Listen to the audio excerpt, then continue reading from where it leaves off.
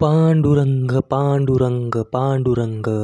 नमस्कार मित्रांनो व्रतामध्ये सर्वश्रेष्ठ व्रत पापक्षय करणारे शुभफलदायी श्रीहरी विष्णू यांना अत्यंत प्रिय असणारे व्रत म्हणजे एकादशी व्रत.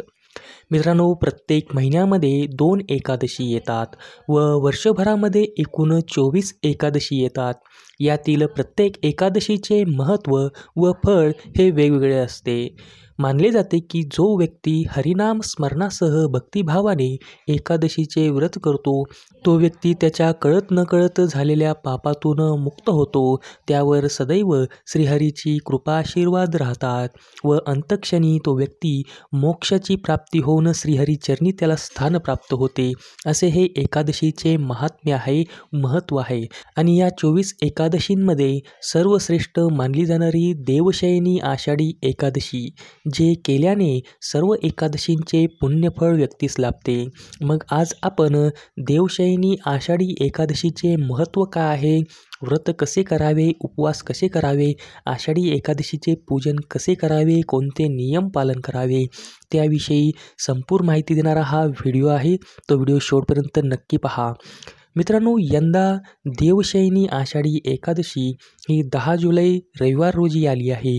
आषाढी एकादशी प्रारंभ नऊ जुलै दुपारी चार वाजून एकोणचाळीस मिनिटाला होणार आहे आणि आषाढी एकादशीचा समाप्ती दहा जुलै दुपारी दोन वाजून तेरा मिनिटाला होणार आहे. आणि आपल्याला जो उपवास आहे तो उपवास द्वादशीच्या दिवशी म्हणजेच अकरा तारखेला सोडायचा आहे.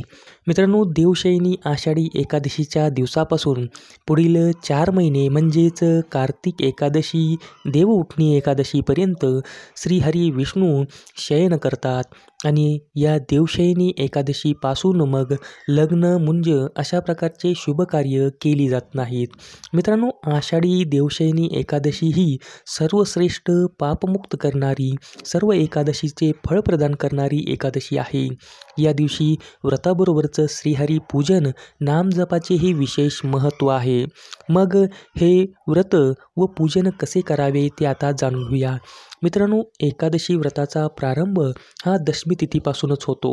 म्हणजेच एकादशी व्रत नियम पालन हे आपल्याला दशमी तिथीपासूनच सुरू करायचे आहे. दशमी तिथीपासूनच आपल्याला ब्रह्मचर्य व्रताचे पालन करावे शक्य असल्यास जमिनीवरच शयन करावे व दुसऱ्या दिवशी म्हणजेच एकादशीच्या दिवशी सकाळी लवकर ब्रह्ममुहूर्तावर उठावे व श्रीहरी नामस्मरण करत उठायचं आहे आपल्याला आणि सडा रांगोळी स्नानादी कर्म निवृत्त होऊन संपूर्ण घरभर गंगाजल शिंपडायचं आहे. त्यानंतर आपल्या नित्यपूजास्थळी अथवा स्वतंत्र घराच्या ईशान्य दिशेला श्रीहरी विष्णूंची मूर्ती अथवा प्रतिमेची स्थापना करावी. ज्या ठिकाणी आपण पूजन करणार आहे त्या ठिकाणचं सुशोभन करायचं आहे रांगोळी काढायची आहे त्यावर पाठ ठेवून मग श्रीहरीच्या नामघोषासह मूर्ती स्थापित करावी दिवा लावावा व षोडशोपचारांनी श्रीहरींचे पूजन करावे. श्रीहरींना त्यांना आवडते पिवळ्या रंगाचे वस्त्र अर्पण करावे गंध अक्षता फूल अर्पण करावे. श्रीहरींना पिवळ्या रंगाचे फूल हे अतिप्रिय आहे. त्यामुळे आपण त्यांना पिवळ्या रंगाचे फूल हे नक्की अर्पण करायचे आहे. तसेच श्रीहरींचे पूजन ज्याशिवाय अपुरे मानले जाते ती तुळशीची पानं त्यांना न विसरता आपण अर्पण करायची आहे. तसेच त्यांना पिवळ्या रंगाची केळी पिवळे आंबेही आपण प्रसाद स्वरूप नैवेद्य स्वरूप आपण त्यांना अर्पण करू शकता. विधिवत पूजन संपन्न करायचं आहे अशा प्रकारे आणि कथा ऐकायची आहे आणि मग नंतर आपण आरती करायची आहे. तसेच श्रीहरी समोर बसून आपण या दिवशी कमीत कमी एकशे आठ वेळेस ओम नमो भगवते वासुदेवाय या मंत्राचा जप नक्की करायचा आहे. तसेच या दिवशी एका मंत्राचा विशेष उच्चारण आपल्याला करायचा आहे. तो मंत्र म्हणजे सुप्ते त्वयी जगन्नाथ जमत्सुप्तं भवेदिदं. विबुद्धे त्वयि बुद्धं च जगत्सर्वं चराचरम. हा मंत्र आपल्याला उच्चारण नक्की करायचा आहे. तसेच दिवसभरामध्ये विष्णू सहस्रनाम विष्णू पुरांचे श्रवण पठन हे करायचे आहे. आषाढी एकादशीच्या दिवशी व्रत व उपास केल्याने मानले जाते की व्यक्तीचे सकळ मनोरथ पूर्ण होतात. महाराष्ट्रात या दिवसाला आणखी विशेष महत्त्व आहे. या दिवशी संपूर्ण महाराष्ट्रातून दिंड्या या श्रीहरी विठ्ठल दर्शनासाठी दर्शनासाठी पंढरपुरात दाखल होतात व श्रीहरींचे दर्शन आशीर्वाद घेतात नाम गजर करतात. याप्रमाणे दिवसभर नामजप व भजन करत आपण व्रत करायचं आहे. तसेच एकादशीच्या रात्रीही भजन कीर्तन करत जागरण करण्याचे विधान आहे. त्यामुळे आपण एकादशीच्या रात्री शक्य तेवढं वेळ आपण जागरण करायचं आहे व नामजप करायचा आहे.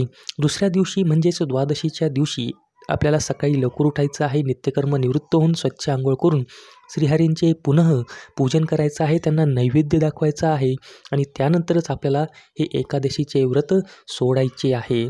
या आषाढी एकादशीच्या दिवशी आपण केळीच्या दानात नक्की करायचं आहे. या केळीच्या दानाचे विशेष महत्त्व व विशेष फळ आपल्याला प्राप्त होत असते त्यामुळे आपण शक्य झाल्यास गरजवंतास केळीचे दान नक्की करायचे आहे.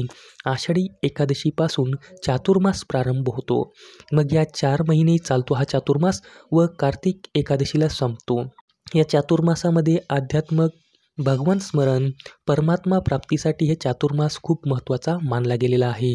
मित्रांनो आषाढी एकादशीच्या दशमी तिथीपासूनच आपण मद्यपान मांससेवन टाळायचं आहे ब्रह्मचर्य व्रताचं पालन करायचं आहे तामसी पदार्थाचे सेवन आपण टाळायचं आहे तसेच एकादशीच्या दिवशी लसूण कांदा इत्यादी तामसी पदार्थाचे सेवन टाळायचं आहे ते खायचे नाही. तसेच या दिवशी खोटे बोलू नये गरजवंतास या दिवशी नक्की आपण शक्य तेवढी मदत करायची आहे. अशा प्रकारे आषाढी एकादशी ही महाएकादशी म्हणून ही ओळखली जाते. तसेच व्यक्तीस सर्व मुक्त करणारी एकादशी मानली जाते.